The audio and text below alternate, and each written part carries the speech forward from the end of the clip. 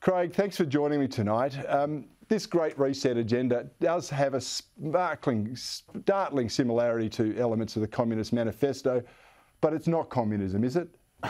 Cory, we shouldn't be making jokes about this. This is one of the greatest threats to our freedoms and our democracy uh, that we face today.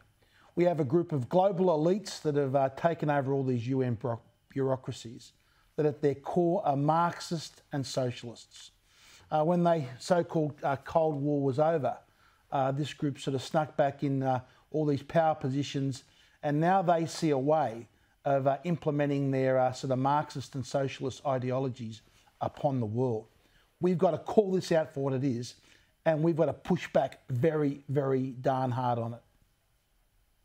Well, Craig, they tried this for a very long time with this anthropogenic global warming stuff. They wanted to basically deindustrialise the world, put more power in the hands of government, and mm. and we even saw the Greens say they want a global governance.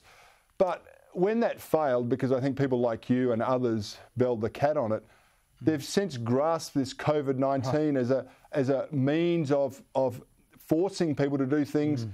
that would otherwise be unacceptable. Um, have they used this pandemic as an excuse to further the agenda that was failing before?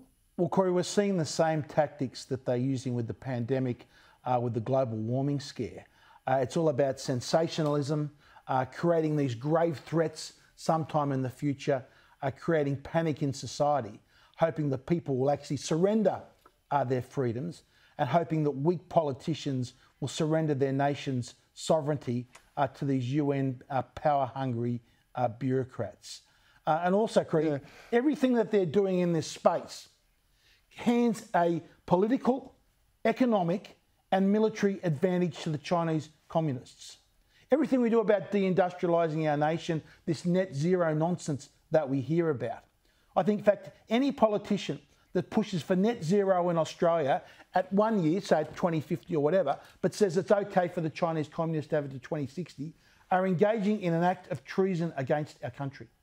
They are selling us out yep. and handing a competitive advantage to the Chinese communists. And we've seen how uh, you can trust them uh, today over the treaties that we have. They just throw it out the window.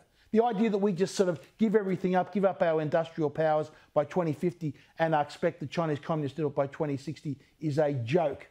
And anyone that goes down this track, I said, is a traitor to our nation. Well, they're very strong words, Craig, but of course we know that they get directed back at us as well. Whenever you talk about the Great Reset or the, the collusion between um, behind uh, anthropogenic global warming, sure the, the leftists and the, the, the, internationalists push back and say you're just conspiracy theorists. But everything I've spoken about tonight is available on the World Economic Forum's Great Reset mm. website. Now, here's a piece from the, their forum's YouTube site. I just want you to have a look. And it's not surprising that people who've been disenfranchised by a broken system and pushed even further by the pandemic will suspect global leaders of conspiracy. But the world's not that simple. Okay, so Craig, what we've got here is they're saying those people who've been marginalised or disenfranchised by the pandemic uh, will jump to conspiracy theorists. But it's not that. We know government has forced this upon us, and right. it's all hiding in plain sight. This is not a conspiracy. This is actually an agenda that is available on their website. If you go to their website, Cory, one of their own ads actually says you will own nothing, and of course you'll be happy.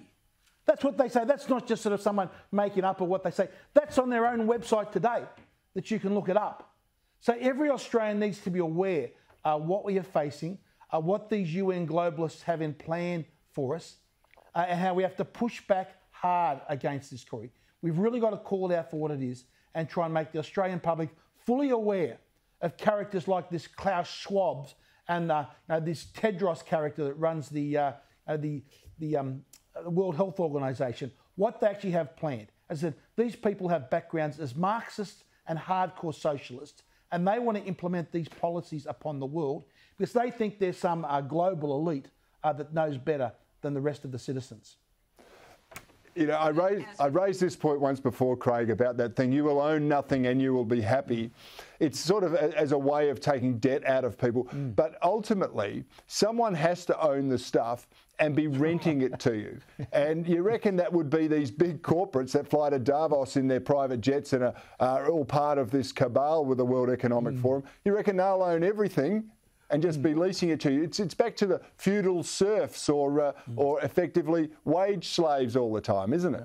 Well, that's how every uh, socialist regime throughout history uh, has gone about. Uh, the idea that every all the wealth is shared and all that is just has never happened. It all gets controlled by a small group of self-appointed elites uh, at the top. The control of the wealth, uh, they'll own it, and they will say what you can and cannot have.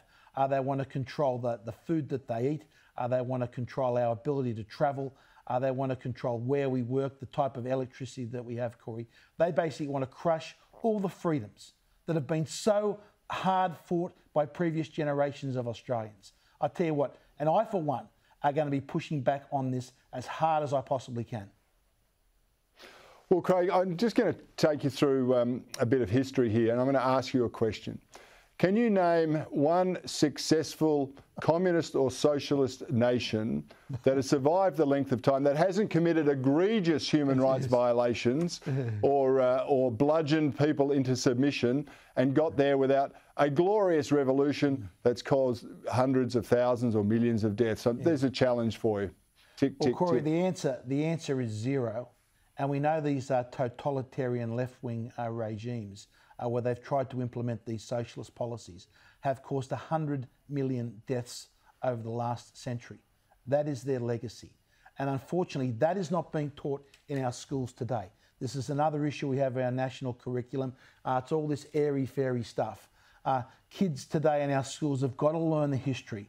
Uh, they've got to learn you know, what the Eastern Bloc was like. Uh, there are so many Australian families that have elderly relatives that fled from behind that iron curtain to freedoms in Australia, and they must be horrified when they see what is happening today.